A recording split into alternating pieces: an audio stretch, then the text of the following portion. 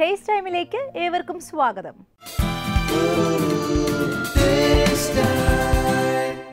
പണ്ട് കാലത്തെ അമ്മമാരെക്കാൾ ഇന്നത്തെ കാലത്തെ അമ്മമാർ പലതരത്തിലും വ്യത്യസ്തരാണ്. കാലത്തിനൊത്തുള്ള നല്ല നല്ല മാറ്റങ്ങളും നമുക്ക് അത്ര കണ്ട് യോജിക്കാൻ കഴിയാത്ത ചില മാറ്റങ്ങളും അതിൽപ്പെടും. പക്ഷേ അന്നും ഇന്നും മാറാതെ നിൽക്കുന്ന ചില കാര്യങ്ങൾ ഇപ്പോഴും ഉണ്ട്. ഉദാഹരണത്തിന് വീട്ടിലെ ഒരു ദിവസത്തെ മെനു. പലപ്പോഴും ഇന്ന് വീട്ടിൽ എന്തുണ്ടാക്കണം എന്ന് അമ്മമാർ പ്ലാൻ ചെയ്യുന്നത് മക്കളുടെ അഭിരുചിക്കനുസരിച്ചായിരിക്കും. ശരിയല്ലേ? മക്കളെ സംബന്ധിച്ചിടത്തോളം അമ്മ ഉണ്ടാക്കുന്ന ആഹാരം അത് വെറും ഒരു രുചിയല്ല ഒരു അനുഭവം തന്നെയാണ്. കാരണം അമ്മയുടെ സ്നേഹവും അതിലുണ്ടാകും. നിങ്ങൾക്ക് വളരെ കൂടി നിങ്ങളുടെ പ്രിയപ്പെട്ടവർക്കായി ഉണ്ടാക്കാൻ കഴിയുന്ന ഒരു കൂട്ടം വിഭവങ്ങളുമായി ഇന്നത്തെ ടേസ്റ്റ് ടൈം ആരംഭിക്കുകയാണ്. എന്താ ചേച്ചി? പൊറോട്ട കഴിച്ചിട്ടുണ്ടോ? കഴിച്ചിട്ടുണ്ട്. കേരളീയരുടെ ദേശീയ ഭക്ഷണമാണല്ലോ പൊറോട്ട. അപ്പം ഉറപ്പായിട്ട് കഴിച്ചിട്ടുണ്ട്. നമ്മളിന്ന് ചെയ്യാൻ വേണ്ടി പോകുന്നത് വീറ്റ് ലാച്ച പൊറോട്ടയാണ്. ലാച്ച പൊറോട്ട? ഡ്രസ്സിന്റെ പേരല്ലേ ലാച്ച? അതെന്തായാലും കേട്ടിട്ടില്ല കഴിച്ചിട്ടുമില്ല അല്ലെ? നമ്മൾ ലാച്ച പൊറോട്ട എന്ന് പറയുമ്പോൾ ഇതിന്റെ ലെയേഴ്സ് നമ്മൾ നോർമലി പൊറോട്ട നന്നായി വീശി വീശി ഓരോന്ന് പിന്നെയും അതിനെ മടക്കിയെടുത്ത് പിന്നെയും വീശി വീശിക്കാണ് ഉണ്ടാക്കുന്നത്. ഇതിന് വളരെ ഈസി ആയിട്ട് നമുക്ക് വീട്ടിൽ തന്നെ പ്രിപ്പയർ ചെയ്യാൻ പറ്റുന്ന ഒരു പൊറോട്ടയാണ്. അപ്പൊ അതിനെന്തൊക്കെ ചേരുവകൾ വേണം നമുക്ക് നോക്കാം. അമൂൽ ഗീ. അമൂലിന്റെ ഗീ വെച്ചിട്ടാണ് നമ്മളിപ്പം പൊറോട്ട ഉണ്ടാക്കാൻ വേണ്ടി പോകുന്നത്. ഓക്കെ. പിന്നെ ഗോതമ്പുണ്ട് നോർമലി നമ്മൾ പൊറോട്ട എന്ന് പറഞ്ഞാൽ മൈദയാണല്ലോ. ഇത് ഗോതമ്പിൽ വീറ്റ് പൊറോട്ടയാണ്. പിന്നെ ഉപ്പ്. ഉപ്പ്. ഇത്രയേ ഉള്ളൂ. വളരെ ചേരുവകളൊന്നും ഇല്ല എന്ന് തന്നെ പറയാം. പക്ഷെ അത് കുഴച്ചെടുക്കുന്ന രീതി അതുപോലെ നമ്മൾ പരത്തി പ്രിപ്പയർ ചെയ്യുന്ന രീതി. ഇതിലാണ് ഈ പൊറോട്ട എല്ലാം ഇരിക്കുന്നത്. അപ്പോൾ നമുക്ക് തുടങ്ങിയാലോ? നമുക്ക് വേറെ ഒന്നുമില്ല. കുറച്ച് വെള്ളം ഒന്ന് ചൂടാക്കാം. ചൂടാക്കിയിട്ട് നമുക്ക് മാവ് ഒന്ന് കുഴച്ചെടുക്കാം. നമുക്ക് ആദ്യം കുറച്ച് വെള്ളം ഒന്ന് ചൂടാക്കാം.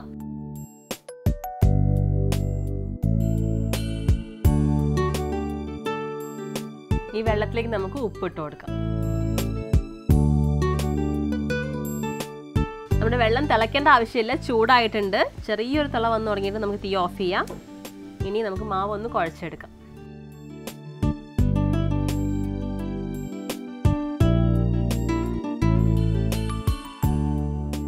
പൊറോട്ട എത്ര വേണോ അതനുസരിച്ചിട്ടാണ് നമ്മൾ മാവ് എടുക്കുന്നത്. ഇനി ഇതിലേക്ക് നമുക്ക് വെള്ളം ഒഴിച്ചു കൊടുക്കാം.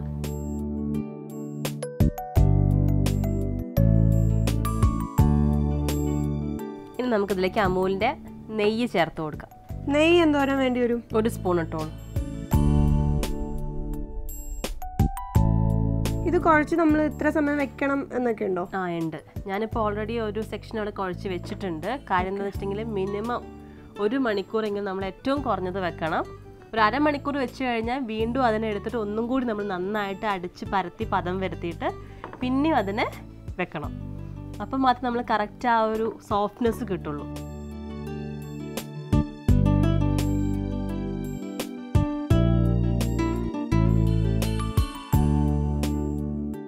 ഇപ്പം ഏകദേശം നമ്മൾ ഒഴിച്ച വെളിച്ചെണ്ണ നമ്മുടെ മാവ് കുടിച്ചിട്ടുണ്ട്. കുടിക്കാതിരിക്കുന്ന ഒരു പരുവുണ്ടല്ലോ ആ പരുവം വരെ നമ്മൾ വെളിച്ചെണ്ണ ഒഴിച്ചുകൊണ്ടിരിക്കണം. എണ്ണയിൽ ഇതങ്ങ് മുങ്ങണം. അതെ ഓരോ പ്രാവശ്യം നമ്മൾ വെളിച്ചെണ്ണ ഒഴിച്ചിട്ട് പ്രസ് ചെയ്യുമ്പോഴും ആ മാവ് വെളിച്ചെണ്ണ കുടിച്ചെടുക്കും. അത് കുടിക്കാതെ പുറത്തേക്ക് വരുന്ന അവസ്ഥ ഉണ്ടല്ലോ. ആ ഒരു പരുവാണ് നമുക്ക് വേണ്ടത്.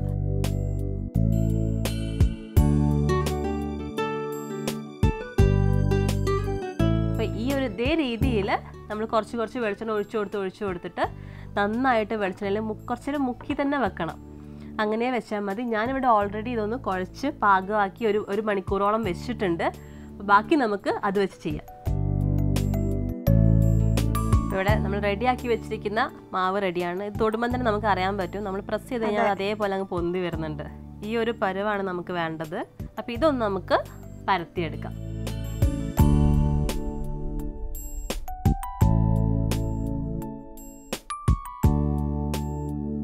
പൊറോട്ട ആയതുകൊണ്ട് തന്നെ നമ്മൾ ചപ്പാത്തിക്ക് എടുക്കുന്ന പോലെ ചെറിയ ഉരുള എടുത്തിട്ട് കാര്യമില്ല. നല്ല വലിയ ഉരു- ഉരുള തന്നെ വേണം.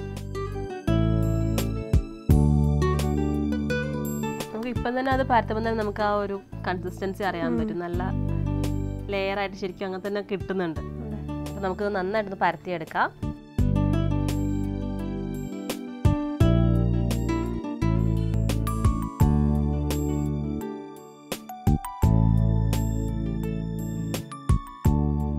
അത്യാവശ്യം വലിയൊരു വലുപ്പം നമ്മൾ കൈ വെച്ചിട്ട് തന്നെ ചെയ്യണം. അതിനുശേഷം നമ്മൾ പരത്തിയെടുക്കും.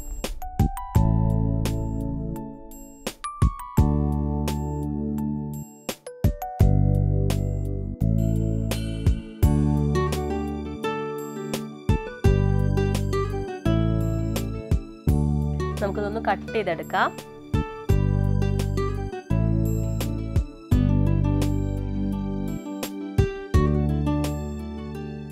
നമുക്കിതൊന്ന് ഇനി ഒന്ന് റോൾ ചെയ്തെടുക്കാം കേട്ടോ.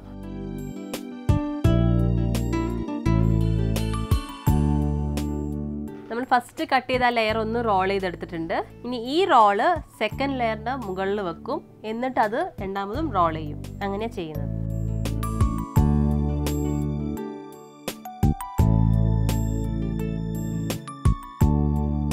അപ്പോൾ നമുക്കിത് ഇങ്ങനെ ഓരോരോ ലെയർ ലെയർ ആയിട്ടൊന്ന് റോൾ ചെയ്തെടുക്കാം.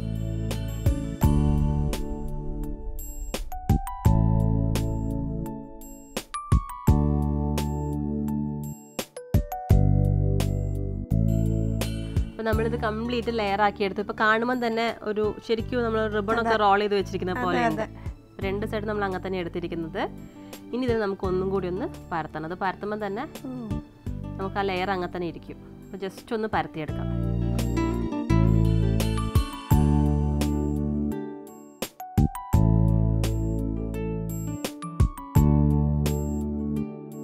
നമ്മൾ രണ്ടാമത് ലെയർ ആക്കിയതിന് ശേഷം പരത്തുമ്പോൾ നന്നായിട്ട് പ്രസ് ചെയ്യരുത്. നന്നായിട്ട് പ്രസ് ചെയ്താൽ നമ്മൾ ആ ലെയേഴ്സ് ഒക്കെ പിന്നെയും ജോയിന്റ് ആവും.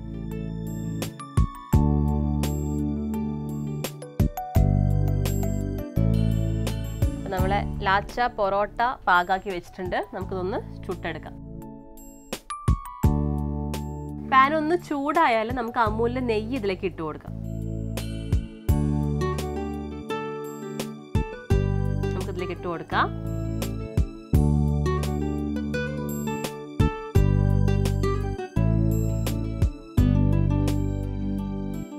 ലാച്ച പൊറോട്ട ഇവിടെ റെഡി ആയിട്ടുണ്ട്. എങ്ങനെ തയ്യാറാക്കിയതെന്ന് ഞാൻ ഒന്നും കൂടെ പറഞ്ഞു തരാം. ഒരു പാനിൽ കുറച്ച് വെള്ളം ഉപ്പിട്ട് ചൂടാക്കുക. അതിനുശേഷം ഒരു ബൗൾ എടുക്കുക. അതിലേക്ക് പൊറോട്ടയ്ക്ക് ആവശ്യമായിട്ടുള്ള ഗോതമ്പ് പൊടി ചേർത്ത് കൊടുക്കുക. അതിലേക്ക് ചൂടുവെള്ളവും നെയ്യും ചേർത്ത് നന്നായിട്ടൊന്ന് കുഴച്ചെടുക്കുക. വെളിച്ചെണ്ണ കുറച്ച് കുറച്ചായി ചേർത്ത് കൊടുത്ത് ചേർത്ത് കൊടുത്ത് നല്ല പദം വരുന്ന പാകത്തിന് കുഴച്ചെടുക്കുക. അരമണിക്കൂറിന് ശേഷം ഒന്നും കൂടി മാവിന് നന്നായിട്ടൊന്ന് കുഴച്ചെടുക്കുക. വീണ്ടും അതിന് അരമണിക്കൂർ വെക്കുക. അതിനുശേഷം പരത്തിയെടുക്കുക. കട്ട് ചെയ്യുക റോളാക്കി ചുരുട്ടിയെടുക്കുക. എല്ലാ റോളും കൂടി പാകമായതിനു ശേഷം ഒന്നും കൂടി ഒന്ന് പരത്തുക. ഒരു പാൻ ചൂടാക്കുക അതിലേക്ക് കുറച്ച് നെയ്യ് ഒഴിച്ചു കൊടുക്കുക. അതിലിട്ട് രണ്ട് സൈഡും മറിച്ചിട്ട് പൊറോട്ട ചുട്ടെടുക്കുക. ലാച്ച പൊറോട്ട ഇവിടെ റെഡിയാണ് ടേസ്റ്റിൽ കാര്യമായ വ്യത്യാസം വരാറില്ല. നമ്മൾ സാധാരണ വീറ്റ് പൊറോട്ട അതിന്റെ ഒരു ടേസ്റ്റ് തന്നെ ഉണ്ടാവുള്ളൂ. എന്നാലും അനുഷിത കഴിച്ചു നോക്കട്ടെ. ചൂടുണ്ട്. നമുക്കിതിന്റെ ലെയർ മാത്രമാണ് കാര്യം. നന്നായിട്ടൊന്ന് ചൂടാറിക്കഴിഞ്ഞാൽ നമുക്കൊന്ന് പ്രസ് ചെയ്ത് കഴിഞ്ഞാൽ കറക്റ്റ് ഫുള്ള് ലെയറായിട്ട് നമ്മൾ ഷോപ്പിൽ കിട്ടുന്ന പോലെ നമുക്കിങ്ങനെ പദമായിട്ട് കിടന്നോളും. നമ്മൾ സാധാരണ കഴിക്കാറുള്ള ആ ഗോതമ്പ് പൊറോട്ടയുടെ ആ ടേസ്റ്റ് തന്നെ ഉണ്ട്. പിന്നെ നല്ല ക്രിസ്പി ആയിട്ടുണ്ട്. എണ്ണയുടെയും നെയ്യുടെയും ടേസ്റ്റ് നന്നായിട്ടുണ്ട്. ഇനി പൊറോട്ട കഴിക്കാൻ തോന്നുമ്പോൾ സമയം ഉണ്ടെങ്കിൽ വീട്ടിൽ അച്ച പൊറോട്ട വീട്ടിൽ തന്നെ ട്രൈ ചെയ്ത് നോക്കുക നമുക്ക് വീണ്ടും കാണാം.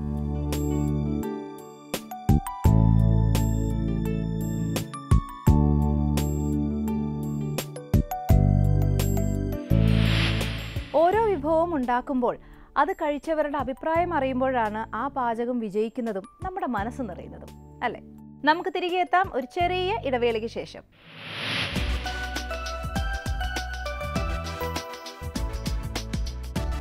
ഞാൻ ഇന്ന് നിൽക്കുന്ന സ്ഥലവും ഹോളിഡേ ആയിട്ടൊരു ഭയങ്കര ബന്ധമുണ്ട്. തൃശ്ശൂർ ജില്ലയിൽ അതിരപ്പള്ളി വാഴശാൽ വാട്ടർഫോൾസിന്റെ അടുത്താണ് ഞാൻ നിൽക്കുന്നത്. ഇന്ന് എന്താ നമ്മൾ കുക്ക് ചെയ്യണേ? നമ്മൾ ചെയ്യുന്നത് കറീഡ് പാസ്ത വിത്ത് ചിക്കൻ എന്നുള്ള ഒരു ഫ്യൂഷൻ ആയിട്ടുള്ള ഡിഷാണ് ഉദ്ദേശിക്കുന്നത്.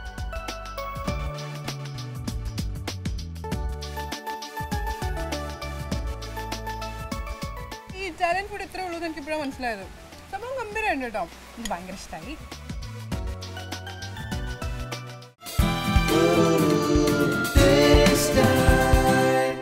ടേസ്റ്റ് ടൈമിലേക്ക് ഏവർക്കും ഒരിക്കൽ കൂടി സ്വാഗതം.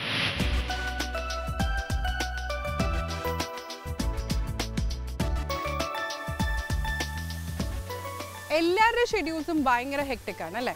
ഒരു സ്കൂളിൽ പഠിക്കുന്ന ഒരു കെ ജി സ്റ്റാൻഡേർഡിൽ പഠിക്കുന്ന കുട്ടി മുതൽ വലിയ ആൾക്കാർ വരെ എല്ലാവരും ഭയങ്കര ബിസിയാണ് ടെൻഷനാണ് ഹെക്ടിക് ആണ് ഒക്കെയാണ്.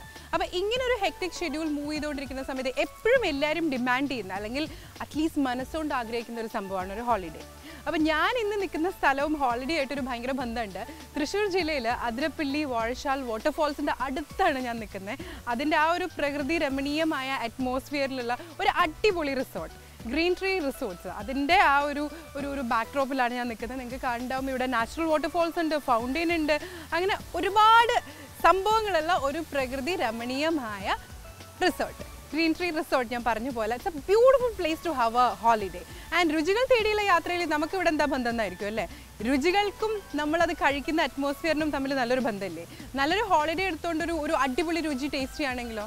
അതും നല്ലതാണ് എന്തായാലും ഈ ഒരു ബാക്ക് ഡ്രോപ്പിൽ ഒരു കിഡിലൻ റെസിപ്പിയാണ് നമ്മളിന്ന് കാണാൻ പോകുന്നത്. അതും ഈ ഒരു ഗ്രീൻ ട്രീ റിസോർട്ടിലെ മെയിൻ ഷെഫായിട്ടുള്ള ഷെഫ് കിഷോറാണ് നമുക്ക് ഈ ഒരു റെസിപ്പി പറഞ്ഞു തരാൻ പോകുന്നത്. ആൻഡ് പ്ലസ് ഈ ഒരു ബ്യൂട്ടിഫുൾ അറ്റ്മോസ്ഫിയറും രണ്ടും കൂടി ഇന്ന് നമ്മൾ തകർക്കും.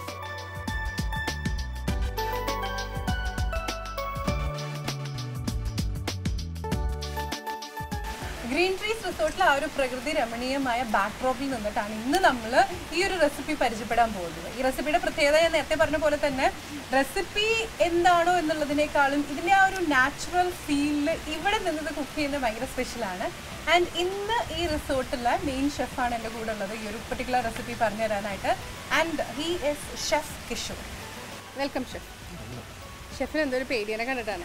ഇല്ല ഞാൻ ഭയങ്കര ഒന്നുമല്ല ഞാൻ ഭയങ്കര നോർമൽ ആയിട്ടുള്ള ആളാണ് അപ്പൊ ഷെഫ് ഒരുപാട് സാധനങ്ങൾ ഇരിക്കുന്നുണ്ട്. ഇതൊക്കെ നമുക്ക് അത്യാവശ്യം ഫെമിലിയർ ആയിട്ടുള്ള സാധനങ്ങളാണ് പക്ഷെ ഇന്ന് എന്താ നമ്മൾ കുക്ക് ചെയ്യണേ? നമ്മൾ ചെയ്യുന്നത് കറീഡ് പാസ്ത വിത്ത് ചിക്കൻ എന്നുള്ള ഒരു ഫ്യൂഷൻ ആയിട്ടുള്ള ഡിഷാണ് ഉദ്ദേശിക്കുന്നത്. Curry pasta with chicken curry pasta with chicken അപ്പോൾ അത് അത് മാത്രം കഴിക്കുന്നതാണോ അത്? അതെ അതെ. പാസ്ത അത് ഒറ്റയ്ക്ക് അതെ അതെ. അതിന് നമ്മൾ കേരള ആയിട്ടുള്ള ഒരു ഫ്യൂഷനും പ്ലസ് ഇറ്റാലിയൻ അങ്ങനെയാണ് ഇറ്റാലിയൻ കേരളമായിട്ടുള്ള ഒരു ബന്ധമാണ് നമ്മളിവിടെ ഉണ്ടാക്കുന്നത്. ബേസിക്കലി ഇറ്റാലിയൻ പാസ്ത ആൾക്കാർ പ്രിഫർ പ്രിഫർ ചെയ്യുമോ അതോ ഇതുപോലത്തെ ഫ്യൂഷൻ സംഭവങ്ങളാണോ ആൾക്കാർ അല്ല നമ്മൾ അങ്ങനെ ചെയ്തിട്ടുണ്ടായിരുന്നു. പക്ഷെ നമുക്കിപ്പോൾ ഇവിടെ വന്നിട്ട് ഒരു എക്സ്പെരിമെന്റ് നടത്തി ഒരുപാട് ഒരു ക്ലിക്ക് ആയത്. ഒരുപാട് ഓർഡർ നമുക്ക് അതിന്റെ പേരിൽ അങ്ങനെ വരും ഇവിടെ നമുക്ക് ബേസിക്കലി ഒരുപാട് ടൂറിസ്റ്റുകൾ ഉള്ള ഒരു ഏരിയ ഈ ഒരു റിസോർട്ടിൽ അപ്പം ആൾക്കാർ ഭയങ്കര അക്സെപ്റ്റബിൾ ആയിട്ടുള്ള ഒരു സംഭവം. കുറച്ച് സമയമല്ലേ എടുക്കുള്ളൂ? അതെ അതെ. അപ്പൊ നമുക്ക് വീട്ടിലെ കുട്ടികൾക്കൊക്കെ സ്കൂൾ വിട്ട് വരുന്ന ആ ഒരു സമയത്തേക്ക് നമുക്ക് ആലോചിക്കാൻ പറ്റുന്ന ഒരു ഡിഷ് പറയാൻ കാരണം എന്താണെന്ന് വെച്ച് കഴിഞ്ഞാൽ ഞാനിപ്പോൾ പറയാൻ പോകുന്ന ഏതൊക്കെ ഇൻഗ്രീഡിയന്റ് ആവട്ടെ ഇതൊക്കെ നമ്മുടെ വീട്ടിലെ ഫ്രിഡ്ജിലോ അല്ലെങ്കിൽ നമുക്ക് ഈസിലി മേടിക്കാൻ പറ്റുന്ന ഇൻഗ്രീഡിയൻസ് ആയിരിക്കും. അപ്പം എന്തൊക്കെ ഉണ്ട് നോക്കാം. നോക്കുമ്പോൾ ഇവിടെ ഉപ്പ് അല്ലേ? മഞ്ഞപ്പൊടി Kashmiri chilli powder and chop ginger ഇത് tomato tomatoes and olive oil oil. And chopped garlic, Onion. fine chopped onions, and uh, chili, chop ചെയ്ത chili. പിന്നെ നമ്മുടെ കൂടെ പഞ്ചസാര white pepper and this is എന്താ വെറും വെള്ളം. പച്ചവെള്ളം. And we have chicken breast ഇത് ഏകദേശം എത്ര ഉണ്ടാവും അതൊരു വൺ ഫിഫ്റ്റി ഗ്രാംസ് ഉണ്ടാവും one fifty gram chicken breast and coriander leaves മല്ലിപ്പൊടി അത് കോക്കനട്ട് മിൽക്കും ക്രീമും കൂടി മിക്സ് നമുക്ക് കോക്കനട്ട് മിൽക്കും ക്രീമും കൂടെ മിക്സ് ചെയ്ത ആ ഒരു and this is butter. Salted ആണോ? Unsalted unsalted butter unsalted butter and we have pasta fusilli pasta ക്രിസ്ലി pasta അപ്പം ദാ, ഇതാണ് നമ്മുടെ പാസ്ത ഇത്രയും സംഭവങ്ങളാണ് ഇവിടെ നമ്മൾ എടുത്തു വെച്ചിട്ടുള്ളത്. അപ്പോൾ ഷെഫ് തുടങ്ങാം. ഓക്കെ അപ്പം നമ്മൾ ഗ്യാസ് ഓൺ ചെയ്തു. പാൻ വെച്ചു. ഇനി രണ്ട് tablespoon olive oil olive oil ഇപ്പം ഐ ക്യാൻ ഹെൽപ്പ് യു രണ്ട് ടേബിൾ സ്പൂൺ ഒലീവ് ഓയിൽ ആകുമ്പോൾ ഹെൽത്ത് ഇഷ്യൂസും അങ്ങനെ ഉണ്ടാവില്ലായിരിക്കും അല്ലേ? ഗാർലിക് ഗാർലിക് ചോപ്ഡ് ഗാർലിക് എത്ര വേണം? One teaspoon one spoon garlic ഒരു സ്പൂൺ ഇഞ്ചി. ചോപ്പ് ചെയ്ത ഇഞ്ചി. ഒണിയൻ ഇത്ര മതിയോ? കുറച്ചുകൂടി. ഓക്കെ നന്നായിട്ട് ഇരുന്നോട്ടെ എനിക്ക് ഓണിയൻസ് ഭയങ്കര ഇഷ്ടമാണ് നമ്മുടെ ഈ ഒരു ഡിഷ് ഉണ്ടല്ലോ ഇത് ഏകദേശം ഒരു പോർഷൻ ആണ്. ഒരാൾക്ക് കഴിക്കാനുള്ളതാണ്. ടു ഹൺഡ്രഡ് ഗ്രാംസിന്റെ മുകളിൽ ടു ഫിഫ്റ്റി ഗ്രാംസിന്റെ വരും. അപ്പോൾ അത്രയും ഒരാൾക്ക് കഴിക്കാനുള്ളതാണ്. ഒരു വൺ പോർഷൻ ഫുൾ ഫുള്ളായിട്ട് വരുന്നത് ഒരു ഫുൾ മീൽ ഒരു നേരത്തേക്കുള്ള നമ്മുടെ ഫുൾ മീലാണ് അല്ലേ? ഷെഫ് ഈ പാസ്ത നമ്മളിപ്പം കറിവേപ്പില. കൈ കൊണ്ടിടാം ഷെഫ് ഇത്ര പോരെ. ആ ചില്ലി ശരി ഇറ്റാലിയൻ ഡിഷിൽ കറിവേപ്പില ഞാൻ ആദ്യമായിട്ടോ കാണുന്നത്. അത് നമ്മൾ നേരത്തെ പറഞ്ഞു ഫ്യൂഷനാ ഫ്യൂഷനാണ് ഇത്ര മതിയോ? അത്ര വേണ്ട. മതി. മതി. എനിക്ക് തോന്നുന്നു നമ്മുടെ ഡിഷ് ഒഴികെ ബാക്കി ഏത് റെസിപ്പി കുസീനിലേക്ക് പോയാലും അധികം സോട്ട് ചെയ്യില്ല അല്ലേ? വെജിറ്റബിൾസ് കുറച്ചും കൂടെ റോ ആയിട്ട് കിടക്കും ഒരു ക്രഞ്ചി ഫീൽ കിട്ടാനാണ്. ക്രഞ്ചി ഒന്ന് ആലോചിച്ചോളൂ. നമ്മളാണ് ഇതിനെ സോർട്ട് ചെയ്ത് സോർട്ട് ചെയ്ത് സോർട്ട് ചെയ്ത് ഇങ്ങനെ എന്താ പറയുക വെള്ളം രൂപത്തിലായിട്ടാണ് നമ്മൾ കഴിക്കുക. ബട്ട് അത് നമ്മുടെ ടേസ്റ്റ് ബഡ്സിനെ എങ്ങനെ ഫ്ലേവർ ഫേവർ ചെയ്യും എന്നുള്ളത് പോലെ ഇരിക്കും ഇവിടെ നമ്മൾ ജസ്റ്റ് ഒന്ന് സോർട്ട് ചെയ്യുന്നത്.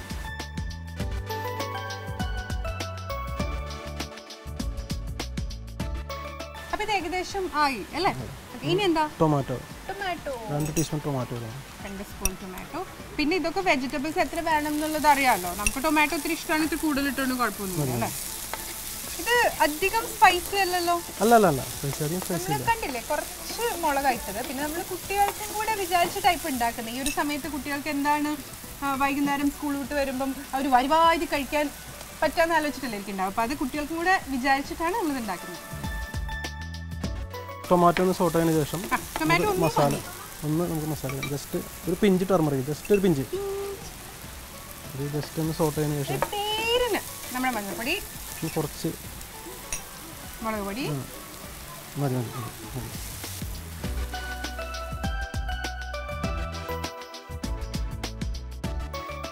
കുറച്ച് കൊറിയാണ്ടർ പൗഡർ വേണം. കൊറിയാണ്ടർ പൗഡർ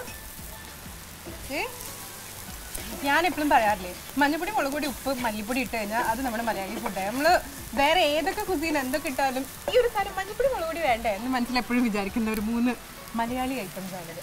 ചിക്കൻ ചിക്കൻ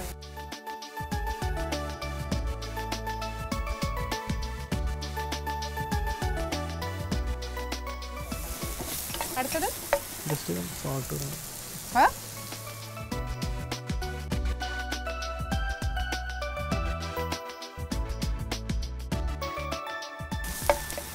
വെള്ളം ഒഴിക്കട്ടെ അയ്യോ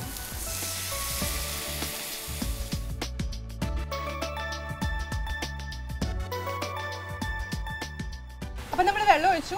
As of now things very simple നമ്മൾ കുറച്ച് ഒലീവ് ഓയിൽ ഇട്ടു. ഒലീവ് ഓയിലിനകത്ത് നമ്മൾ ജിഞ്ചറും ഗാർലിക്കും സവോളയും ഇട്ടൊന്ന് സോട്ടേ ചെയ്തു.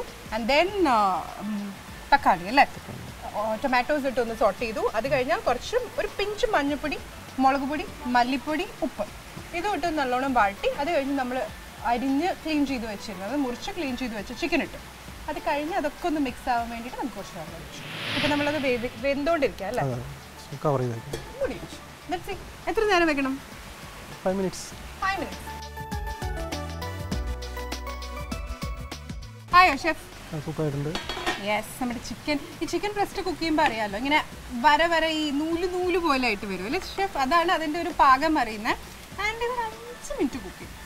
യെസ് നമ്മൾ കഥ ഇതുവരെ വന്ന് നിൽക്കുന്നു. അടുത്ത എന്താ ഷെഫ് പാസ്ത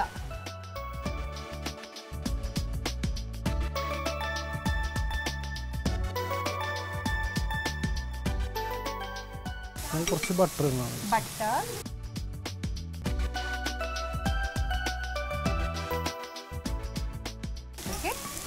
ഇത് നമ്മൾ കോക്കനട്ട് മിൽക്കും ക്രീമും കൂടി മിക്സ് ചെയ്ത് വെച്ചാൽ ഇത് കോക്കനട്ട് മിൽക്കും ക്രീമും കൂടെ മിക്സ് ചെയ്തു. കണ്ടോ?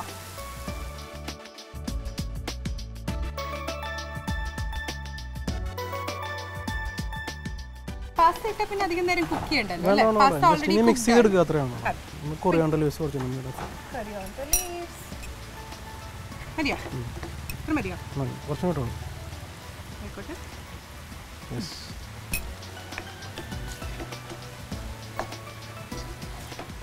ചെയ്തു.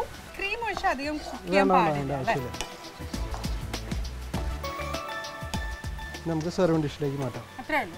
നമ്മൾ ഇനി മുകളിൽ ഇനി മീൻകറി വെച്ചാൽ എണ്ണ ഒഴിക്കുന്നല്ലോ ഗാർണിഷ് ചെയ്യുന്നുള്ളൂ. ഒരു മറ്റേ ടൊമാറ്റോ കൊറിയാണ്ടർ ലീവ്സ് അപ്പോൾ ഇത് സെർവിംഗ് ബൗളിൽ മാറ്റിയിട്ട് ഗാർണിഷ് അപ്പൊ നമ്മുടെ കറി പാസ്ത വിത്ത് ചിക്കൻ ഇത് ഒരു ഒന്നൊന്നര ഡിഷ് ആയിട്ടുണ്ട്.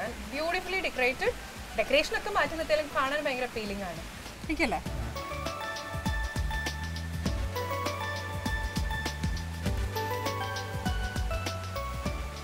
ഉണ്ടാവും. ഷെഫ് നല്ല കോൺഫിഡന്റ് എന്റെ ഷെഫ് ഈ ഇറ്റാലിയൻ ഫുഡ് ഇത്രേ ഉള്ളൂ എന്ന് എനിക്ക് ഇപ്പോഴാണ് മനസ്സിലായത്. സംഭവം ഗംഭീരമുണ്ട് കേട്ടോ. എനിക്ക് ഭയങ്കര ഇഷ്ടമായി ഇവിടെ ഷെഫ് കിഷോറിന് ഇനിയും കുറച്ചും കൂടെ നല്ല റെസിപ്പീസ് നമ്മുടെ അടുത്ത് പറഞ്ഞു തരാനുണ്ട് അപ്പോൾ വീണ്ടും കാണാം ഇനിയൊരു എപ്പിസോഡിൽ താങ്ക് യു ഷെഫ് ഇനി കാണുന്നവരെ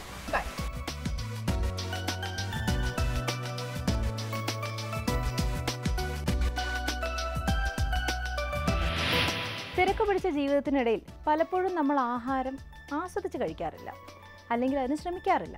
പക്ഷെ ശരിക്കും ഒന്ന് ആലോചിച്ച് നോക്കുകയാണെങ്കിൽ ആഹാരം സമയമെടുത്ത് ആസ്വദിച്ച് കഴിക്കേണ്ട ഒന്ന് തന്നെയല്ലേ? രുചികൾ തേടിയുള്ള യാത്രയിൽ അഞ്ജന നിങ്ങളെ പരിചയപ്പെടുത്തിയ ഈ വിഭവം എങ്ങനെയുണ്ടായിരുന്നു? നമുക്ക് തിരികെ എത്താം ഒരു ചെറിയ ഇടവേളയ്ക്ക് ശേഷം. ടേസ്റ്റ് ടൈമിലേക്ക് ഏവർക്കും ഒരിക്കൽ കൂടി സ്വാഗതം. നമുക്ക് ഇന്നും ഒരു ടേസ്റ്റ് ടൈം കത്ത് വന്നിട്ടുണ്ട്. ടേസ്റ്റ് ടൈമിലേക്ക് സ്ഥിരമായിട്ട് കത്ത് അയക്കാറുള്ള ജിയക്കുട്ടിയാണ് ഇന്നത്തെ കത്ത് അയച്ചിരിക്കുന്നത് ശരിക്കും ജിയക്കുട്ടിയുടെ അപ്പുപ്പൻ ജിയക്കുട്ടിക്ക് വേണ്ടിയിട്ട് എഴുതിയിരിക്കുന്ന കത്താണ് കേട്ടോ. നിങ്ങൾക്ക് എല്ലാവർക്കും ഓർമ്മയുണ്ടായിരിക്കും ജിയക്കുട്ടി നന്നായി വരയ്ക്കുന്ന ഒരു കുട്ടിയാണ്. ഇതിൽ എന്നെ വരച്ചിട്ടുണ്ട്. അതുപോലെ തന്നെ സാധിക സാധികനെ വരച്ചിട്ടുണ്ട്. പിന്നെ ജിയ ജിയക്കുട്ടിയുടെയും അപ്പൂപ്പന്റെയും ഫോട്ടോയും കൂടെ വെച്ചിട്ടുണ്ട് കേട്ടോ. ഇതാണ് ജിയക്കുട്ടി ഓക്കെ ജിയ വളരെ നീളമുള്ളൊരു കത്താണ് എഴുതിയിരിക്കുന്നത്. അതായത് ജിയക്കുട്ടി എന്നും ടേസ്റ്റ് ടൈം കാണാറുണ്ട്. അത് മാത്രമല്ല അപ്പൂപ്പനും കൊച്ചുമോളും കൂടെ ഇടയ്ക്കിടയ്ക്ക് നമ്മുടെ ടേസ്റ്റ് ടൈമിൽ സാധിക കാണിച്ചു തരാറുള്ള ചില വിഭവങ്ങളൊക്കെ വീട്ടിൽ ട്രൈ ചെയ്ത് നോക്കാറുണ്ട്. അതൊക്കെ വളരെയധികം ഇഷ്ടമാണ് എന്നൊക്കെയാണ് എഴുതിയിരിക്കുന്നത് കേട്ടോ. എന്നിരുന്നാലും ഈ ഒരു ചെറിയ കുട്ടി ഇത്രയും നന്നായിട്ട് വളരെ നല്ലൊരു കലാകാരിയാണ് ഇത്രയും നന്നായിട്ട് വരയ്ക്കുന്നു എന്നറിഞ്ഞതിൽ ഒരുപാട് സന്തോഷം. ഞങ്ങളുടെ ടേസ്റ്റ് ടൈം എന്ന ഈ പരിപാടിയിലേക്ക് തന്നെ ഇത്രയും എഫേർട്ട് എടുത്ത് കത്ത് എഴുതുന്നതിലും ഒരുപാട് സന്തോഷം. ഇന്നത്തെ റെസിപ്പി മഞ്ജു എറണാകുളത്ത് നിന്ന് അയച്ചു തന്നിരിക്കുന്നതാണ്. അയച്ചിരിക്കുന്ന റെസിപ്പിയുടെ പേര് ചെമ്മീൻ ചുക്ക. ചേരുവകൾ ചെമ്മീൻ അര കിലോ മുളക് പൊടി ഒരു ചെറിയ സ്പൂൺ മഞ്ഞൾപ്പൊടി അര ചെറിയ സ്പൂൺ ഉപ്പ് പാകത്തിന് വെളിച്ചെണ്ണ ആവശ്യത്തിന് സവാള അര കിലോ അരിഞ്ഞത് തക്കാളി മൂന്ന് വലുത് അരിഞ്ഞത് ഇഞ്ചി ഒരു കഷ്ണം ചതച്ചത് വെളുത്തുള്ളി ഒരല്ലി ചതച്ചത് മല്ലിയില ഒരു തണ്ട് പുതിനയില രണ്ട് തണ്ട് കറിവേപ്പില പത്ത് തണ്ട് പച്ചമുളക് അഞ്ച് കീറിയത്. മുളക് പൊടി രണ്ട് വലിയ സ്പൂൺ മഞ്ഞൾപ്പൊടി അര ചെറിയ സ്പൂൺ. പാകം ചെയ്യുന്ന വിധം ചെമ്മീൻ കഴുകി വൃത്തിയാക്കി തൊണ്ടും നാരും കളഞ്ഞ് രണ്ടാമത്തെ ചേരുവ പുരട്ടി അരമണിക്കൂർ വയ്ക്കണം പിന്നീട് ചൂടായ എണ്ണയിൽ പകുതി വേവിൽ വറുത്തുകോരുക പാനിൽ അല്പം എണ്ണ ചൂടാക്കി നാലാമത്തെ ചേരുവ വഴറ്റി സവാള ബ്രൗൺ നിറമാകുമ്പോൾ അഞ്ചാമത്തെ ചേരുവ ചേർത്തിളക്കുക. ഇതിലേക്ക് ചെമ്മീൻ ചേർത്തിളക്കി മൂടി വെച്ച് വേവിക്കണം.